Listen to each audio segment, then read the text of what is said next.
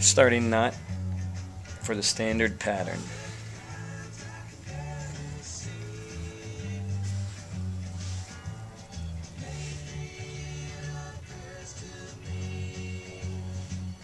Again,